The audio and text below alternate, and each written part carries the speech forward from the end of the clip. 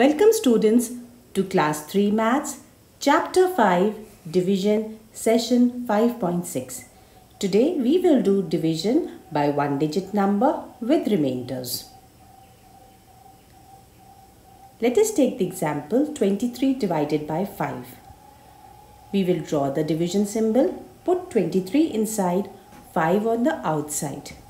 When we divide, 5 will go 4 times in 23. 5 4s is 20. So we will put 4 on top, 20 at the bottom, subtract, we are left with 3. Now let us just name the terms. 5 is the divisor, 23 is the dividend, 4 is the quotient and 3 is the remainder. Now one property about the remainder, remainder will either be 0 or any number less than the divisor. Here we have 3 as the remainder, 3 is less than the divisor. Every time you will notice remainder is always less than the divisor. Now students, if we want to check the calculation that we have done, whether it is right or wrong, we can do that. We have to do divisor into quotient plus remainder. Divisor is 5, quotient is 4 and remainder is 3. So we get 5 into 4 plus 3. 5 4 is 20 plus 3 is 23 and 23 is nothing but the dividend. If we get this divisor into quotient plus remainder equal to the dividend, that means our calculations are correct. So this is the way to check your calculation. Let us take an example. Divide 314 by 4. Now, since it is we are dividing by one digit number, we take the first digit. Now 3 is less than 4. So we will now take two digits, 31. Now we will see how many times does 4 go in 31. 4 will go 7 times. 4 7s is 28. So we will write 7 on top and 28 at the bottom. We subtract, we are left with 3. We bring down the next digit 4 down, we get 34. Again we will see how many times does 4 go in 34. 4 will go 8 times. 4 8 is 32. We'll write 8 on top, 32 at the bottom. We subtract, we are left with 2. So the quotient is 78, remainder is 2. Now let us verify our answer. For verifying, let us write the details. Divisor is equal to 4, quotient is equal to 78, remainder is equal to 2 and dividend is equal to 314. So we have to do divisor into quotient plus remainder.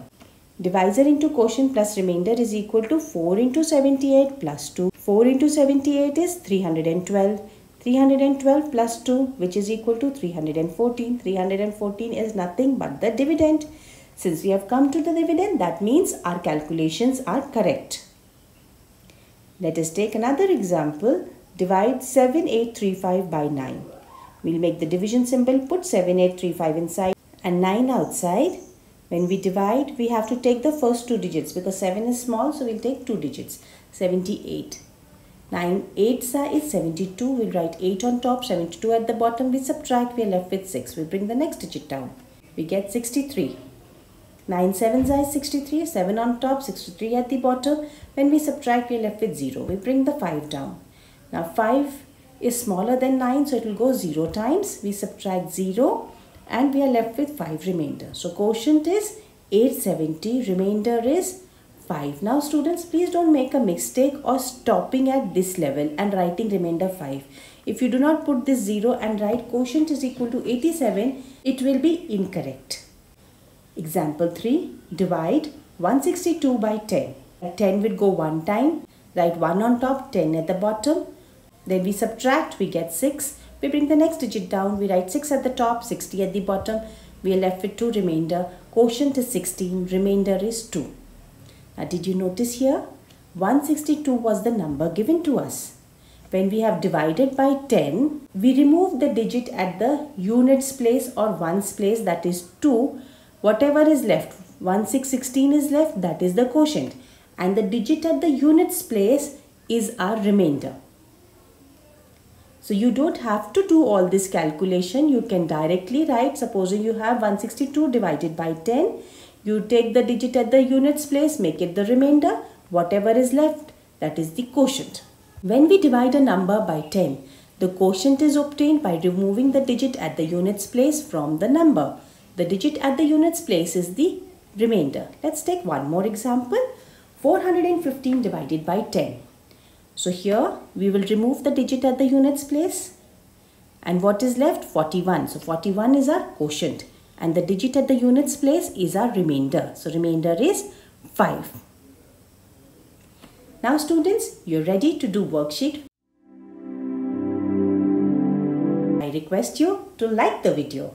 Your likes and comments are a big source of motivation for me. Divide and find the quotient. Question 1. 223 divided by 4. Question 2. 495 divided by 7. Question 3. 4819 divided by 8. Question 4. 3516 divided by 9. Verify your answer. Question 5. 5613 divided by 10. Students, I hope you are revising your tables regularly. And those of you who are, you will find these sums very easy. You may pause the video here, solve these sums and once you have finished solving, unpause and see the solutions. Solutions to worksheet 5.6. Question 1 was divide 223 by 4. We put the division symbol, write 223 inside and 4 outside. We'll have to take the first two digits 22. Now 4 5 size 20. We'll write 5 on top, 20 at the bottom. We subtract, we're left with 2. We bring down 3, we get 23. Again we'll write 5 on top, 20 at the bottom. Subtract, we are left with 3. So the quotient is 55, remainder is 3. Question 2. Divide 495 by 7. We have the first digit as 4 which is less than 7. So we take the first two digits 49. 7 7 is 49. We write 7 on top, 49 at the bottom. We subtract, we are left with 0. We bring down 5. Now don't stop here. We have to check how many times does 5 go in 7. 5 will go 0 times. So we'll write 0 on top. We write 0 0 here. We subtract, we are left with 5. So quotient is 70, remainder is 5. Divide 4819 by 8. We make the division symbol, write 4819 inside, 8 on the outside and then we start dividing. We'll take the first two digits, 8, 6 size 48, we write 6 on top, 48 at the bottom, we subtract, we get 0. We bring the 1 down. Now 1 is too small, isn't it? And there are other numbers waiting, so we'll write a 0 on top and bring the next digit down. 19, 8 2 size 16, we write 2 on top, 16 at the bottom, subtract, we're left with 3. Quotient is 602 and remainder is 3. I hope you have got the answer as 602 and not 62. Question 4. Divide 3516 by 9. We make the division symbol, write 3516 inside, 9 outside and start dividing. We take 35. 35 will go 3 times. 9 3s are 27. 3 at the top, 27 at the bottom. We subtract, we get 8. We bring the 1 down, 81. 9 9 is 81, 9 at the top, 81 at the bottom. We subtract, we get 0. We bring the 6 down. 6 will go 0 times, 0 at the top, 0 at the bottom. Subtract, we are left 6. So quotient is 390, remainder is 6. We had to verify our answer also. So we will multiply the divisor into quotient and add the remainder. Divisor is 9, Quotient is 390 and remainder is 6. So 9 into 390 plus 6 which is equal to 3510 plus 6 which gives us 3516 which is equal to the dividend. That means our calculations are correct. Question 5. Divide 5613 by 10. Here all we have to do is take the units place, make it the remainder. Whatever is left after the units place that is 561 is the quotient. So quotient is equal to 561, remainder is equal to 3. This brings us to the end of the video lesson.